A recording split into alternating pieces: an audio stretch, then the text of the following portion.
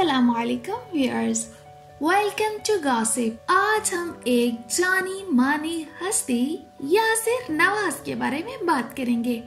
तो वीडियो मजीद देखने के लिए हमारे चैनल को सब्सक्राइब करें एंड बेल आइकन को प्रेस करें।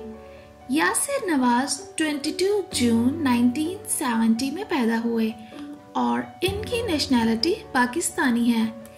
ये कहना बिल्कुल, ये कहना बिल्कुल गलत ना होगा कि वो बहुत से लोगों के दिल की आवाज़ हैं। यासिर नवाज़ ना सिर्फ़ शोबिस स्टार हैं, बल्कि वो एक बहुत ही talented actor producer and director भी हैं और यासिर नवाज़ स्क्रीन राइटर भी हैं। तो चलिए, आ जाते हैं यासिर नवाज़ की फैमिली इंट्रोडक्शन की तरफ़ यासिर नवाज़ आर्टिस्टिक फैमिली से बिलोंग करते हैं। इनके फादर फरीद नवाज़ ब्लोच एक बहुत ही जानी मानी सेलिब्रिटी रह चुके हैं। उसके बाद यासिर नवाज़ ने टीवी होस्ट निदा यासिर से 2000s में शादी की और ये दोनों बहुत ही हैप्पी लाइफ गुजार रहे हैं। इनकी एक बेटी और दो बेटे भी हैं।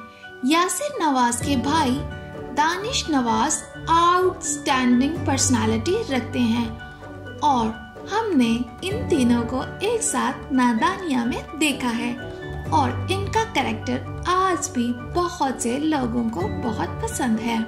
यासिर नवाज़ ने अपना पहला ड्रामा सीरियल बदलते मौसम में ही मल्टी डायमेंशनल पर्सनालिटी को दिखाया।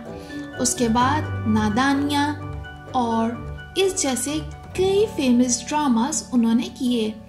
सबसे पहले उन्होंने 2014 में ड्रामा सीरियल चुप रहो डायरेक्ट किया और वो भी सुपर हिट गया इसके बाद एक और मज़ेदार चीज़ ये है कि मेरा दिल, मेरा दुश्मन यासिर नवाज़ ने खुद ही लिखा और खुद ही उसमें परफॉर्म किया।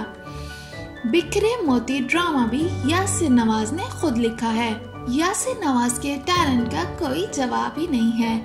उन्होंने रॉन्ग नंबर और wrong number two Mehrunisa will love you movies direct की हैं और उनका प्रोड्यूस भी किया है। तो व्यूअर्स आपको हमारी ये वीडियो कैसी लगी है? आप हमें कमेंट सेक्शन में बताइए और हमारे चैनल को सब्सक्राइब करें और बेल आइकन को प्रेस करना बिल्कुल मत भूलिएगा।